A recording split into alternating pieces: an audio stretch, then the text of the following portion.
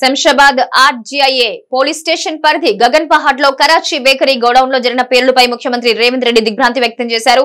క్షతగాత్రులకు మెరుగైన వైద్యం అందించాలని వైద్య ఆరోగ్య శాఖ ముఖ్య కార్యదర్శిని ఆదేశించారు.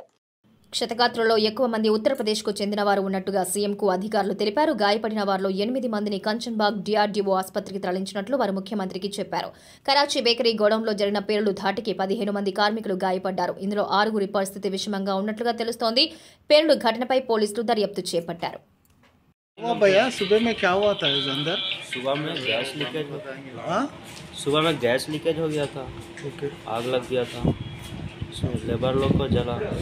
अच्छा कितना लेबर लोग थे?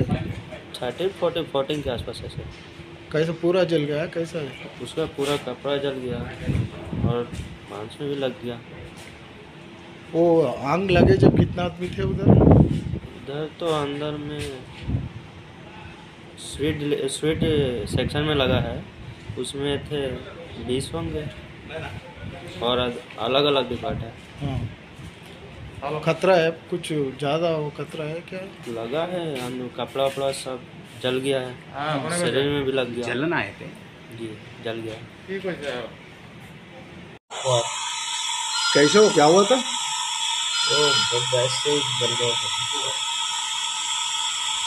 गैस कितने आदमी था? पंद्रह बीस आदमी। सब कुछ जल रहा है अभी? सबको जला।